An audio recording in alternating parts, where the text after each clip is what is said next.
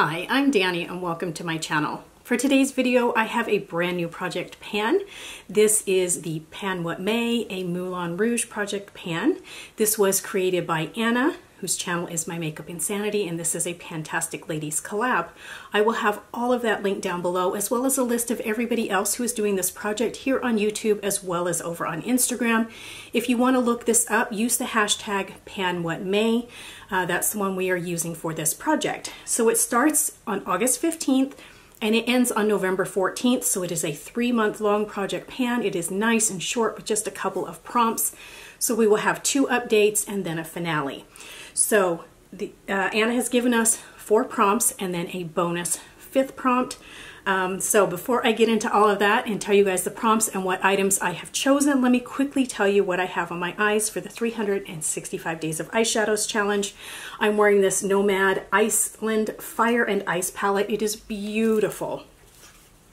So I am wearing these shades right here and this one over here. So I have one, two, three uh, matte shadows. And then I have worn this purple on the outer part of my eyelid, then blended into this blue, and then this one is a silver. So I um, will give you, I'll just show you really quickly what these three shimmers look like. As you can see, I went from purple to blue, and this one is silver. It is beautiful. So I absolutely love these shades. There's some swatches and this is just an amazing palette. I highly recommend it. So let me go ahead and jump into the new project so that I can tell you guys what I'm gonna be working on. Um, the first one is Welcome to the Moulin Rouge, a red or rouge colored product. For that, I have chosen an Ace Beaute lip liner in the shade So Gorgeous. So I will roll it up and measure it and everything. Um, for you guys, but it is the slowest product to ever roll up, so I will do that off camera. But this is it right here. I don't know if I can finish this in three months, but we're gonna give it a try. This goes really well with the red lipstick I'm working on in the Throwback 30, so I thought it'd be perfect to roll into this project. Next one is Lady M. This is a product or a brand that starts with the letter M. So for that, I chose my Murad Replenishing Multi-Acid Peel. As you can see, it is brand new. It is full to the top. I have never used this and it is a smaller one.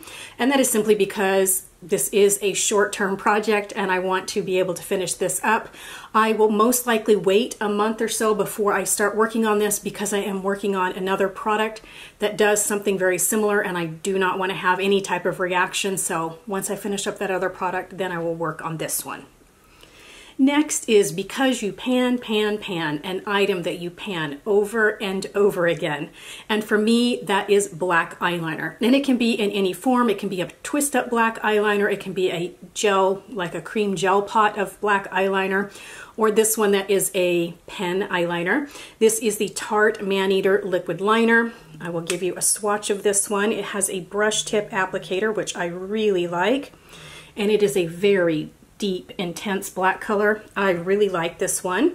This has 0.5 mils of product in here. It is tiny, so I'm really hoping that this one can be finished in three months. I have been working on a couple of creme gel eyeliners. I've been working on a burgundy one that I'm actually wearing today and then a brown one. I have been missing having a black eyeliner to wear. So that's why I'm putting this one in the project. Prompt number four. It's the Sparkling Diamond, a sparkly product or packaging. And this is the packaging I chose. It is a magnetic palette from Anastasia Beverly Hills, which as you can see is completely sparkly and glittery. And I have depotted my Jeffree Star Blood Sugar palette into here.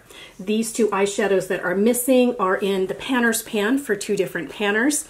So for this one, it was supposed to be, uh, like I said, sparkly product or packaging. So I chose a shimmer shade that is a bit sparkly. And this is the shade Candy Floss. So I want to try to hit pan in Candy Floss. It is a shimmer shade. Whenever I hear candy floss, it makes me think of my wife because that's what she calls cotton candy, which I know a ton of you around the world do, but here in the United States we call it um, cotton candy. So this is what candy floss looks like right here. So really pretty shimmery shade. So those are the four prompts Anna provided, and then she did give us a bonus fifth one if we want to do it, and the bonus is Dying of Consumption, a blood or death themed product. So since it said blood, I went again with my Jeffree Star Blood Sugar palette and I chose to work on another shade and this one is called Sugar Cane. It is a matte light pink color. Let me give you a swatch of that one. This I think will work with as just a basic transition shade on several of the shades that I'm working on. Hopefully you guys can see it. It is very light. So I'm hoping that these two pinks will, again, uh, encourage me to use my reds in my Modern Renaissance palette, which is my Pan That palette. You guys um, often ask me how I'm able to work on so many eyeshadows and projects, and it's because I choose items like this that coordinate with shadows that I'm already working on. So I can easily wear these while I'm also working on my Pan That palette. Um, and it anyway i hope that makes sense how i choose them.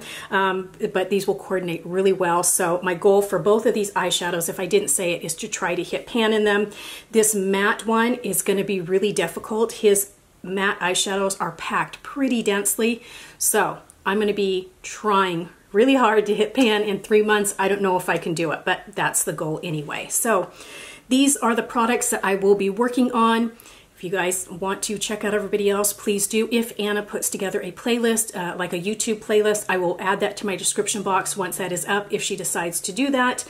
Um, but everything can be found down in my description box. Um, the prompts, everything I'm working on. So I hope you guys enjoyed this. If you want to join along, please feel free to do so. It is open to anybody who wants to do it. If you guys haven't already, I hope that you will please subscribe to my channel before you leave and ring that bell so you're notified every time I upload a new video. Thank you so much for stopping by.